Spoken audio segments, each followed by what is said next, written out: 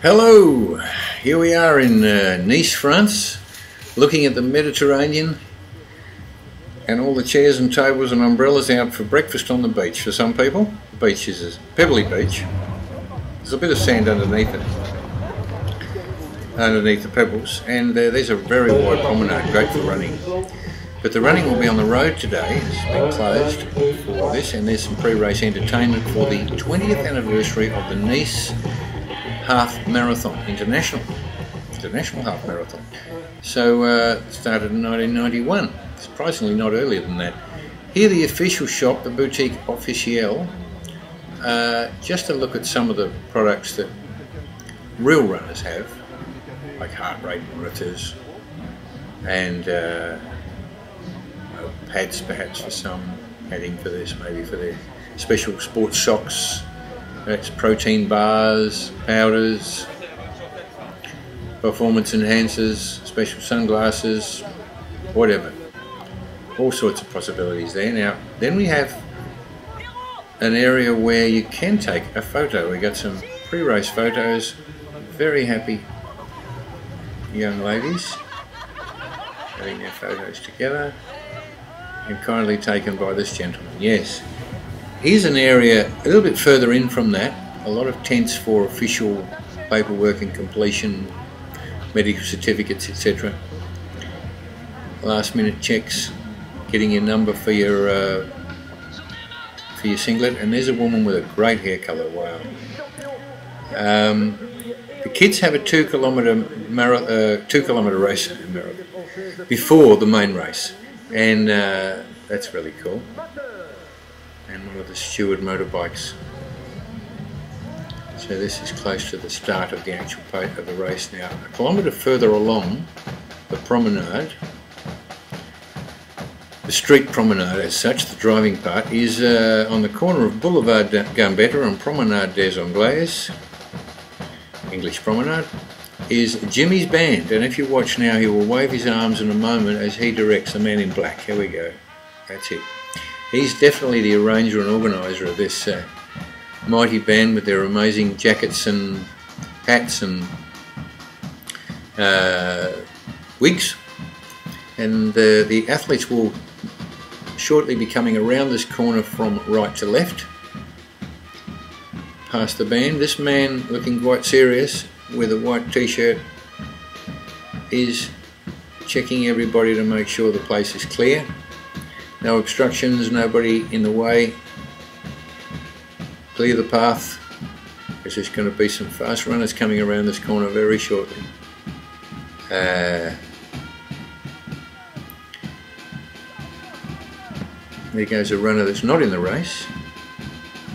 We've got the sea off to the right, perfect day for running, around 18, 19 degrees C. These people casually crossing the road with their dog. Small dogs in Nice are many and there's a lot of dog poo not picked up. Here we go, the race is away and after those two rollerbladers, 13 African runners, very fast, great runners.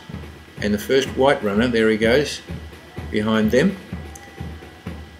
And then from we get another two, all up I think with these two and then another five, these three and another, there'll be about 20 runners. The first 20 runners have streaked ahead of the field.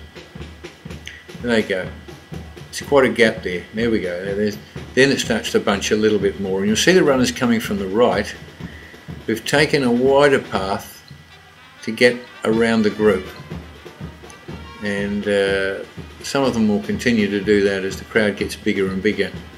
About 5,000 runners in this race. There's a three hour cut-off point.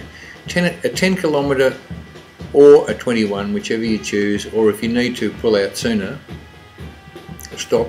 Here the steward is pulling someone out of the way wisely who's really not aware of uh, quite how uh, many runners are going to be coming around that corner shortly in one lump, one group.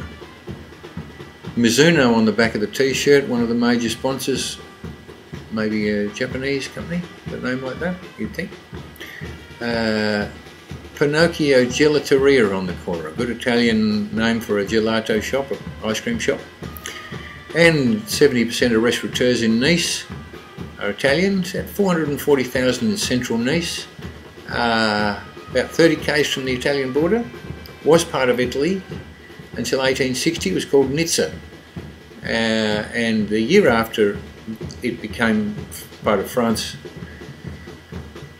it, uh, Italy had a, a, complete unification uh, in 1861 and uh, Garibaldi, who I don't know, maybe he lived in Nice, has a large statue of him, uh, there is a large statue of him in Place Garibaldi uh, within Nice. Uh, here we go, the runners are progressively getting more and more group as they come around the corner. Jimmy's band keeps powering on and it's just a beautiful full moon day with a nice high tide. The, the Med is very calm, the Mediterranean, very calm and clear. Some fishing boats out there, they often fish at full moon time, there's more fish around. Um, just small boats. You see the footpath on the left there, you might have noticed, but the footpath sidewalk, as the Americans call it, is uh, is being renovated um, beautifully. Um, and uh, so they've put the barrier up to make sure no one trips over anything. Plenty of space there. Probably 5,000 runners, we don't know.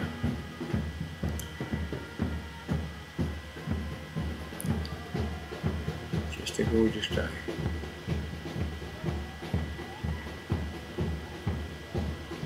Sometimes you'll see someone raise their arms above their head, uh, whether they're just loosening up or acknowledging the band or hoping to get their photo taken or, or just a bit hyperactive, who knows. It's just one of the little anomalies of watching people. The idiosyncrasies of so many athletes, would-be athletes, could-be athletes, just active people.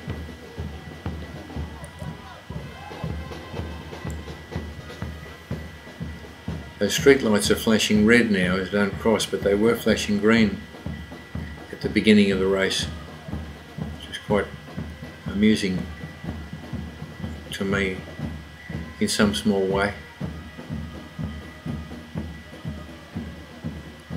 This lady on my right, whom I don't know, chewing her bottom lip, which could mean that she's not getting good photos with that small digital camera, or she's got something to worry about. It's, there's a man flashing and waving his arms. Happy, happy. Uh, she might have wished she was running. There's something worrying her at that point how can I get a good photo with all these people? Hmm. So, and there will be some people in that building are either not there because it's too noisy or they're having a really good view of proceedings. Good spot. And the crowd is definitely getting slower now as we get towards the back of the group. And there's a good spot to watch. She's just far enough back to be safe. Steward's not deterred, deter, uh, deterred about that, not, not troubled. And the last part of this video, I've edited out some of the group runners just to show this particular runner who uh, could be around 75, hard to know. And he uh, definitely has a very slow pace as he'll come around shortly and you'll see that he's probably on about a 10 minute K, almost a walk and uh, with a three hour cut-off I don't know how much time he'll cover or how much his body will allow him to cover but uh, he's okay, he's, he's got the motivation which is great and he's uh, I think he's got a water bottle on his back there as well.